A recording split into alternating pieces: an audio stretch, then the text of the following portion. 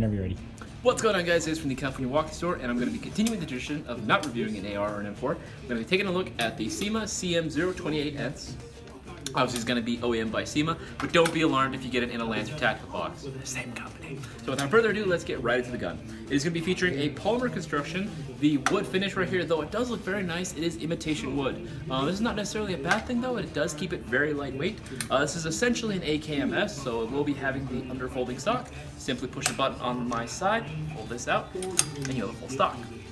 Uh, the gun is uh, chronoing at about 350 FPS. Gun's included with a 600 round high capacity AK magazine, uh, 8.4 stick type battery, and a basic wall charger. Uh, the gun normally retails for about $120. However, right now it is on sale for 107, So be sure to place your orders right now and get this gun.